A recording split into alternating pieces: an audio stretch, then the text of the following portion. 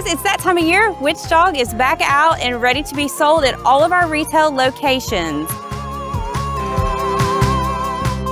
Come and get one. It also glows in the dark.